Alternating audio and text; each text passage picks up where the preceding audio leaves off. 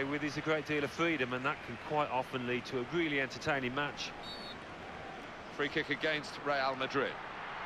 They're on the move now. He's got space.